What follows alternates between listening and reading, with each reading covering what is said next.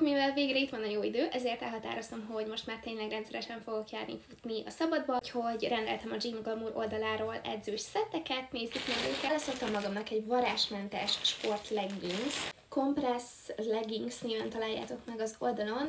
Ez egy nagyon-nagyon vastag anyagból készült nadrág. Ilyen kis vicces a popójánál, és egyébként tényleg nagyon-nagyon jó az anyaga. Ehhez rendeltem meg a sport melltartót is. Simán rám jött, és nagyon-nagyon jó tartása. És nagyon komfortosan érzem magam benne, viszont rendeltem azért még ö, egy pólót hozzá. Vékony anyag, de nagyon-nagyon kellemes. Így néz ki hátulról, és ezt meg lehet kötni hátul is, meg elől is.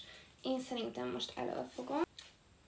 Én teljesen elégedett vagyok azokkal, amiket rendeltem. Hogyha ti is szeretnétek szétnézni az oldalon, akkor hagyok nektek egy linket a bióba, illetve használjátok ezt a kódot, amivel kedvezményhez is juthattok. További szép napot nektek!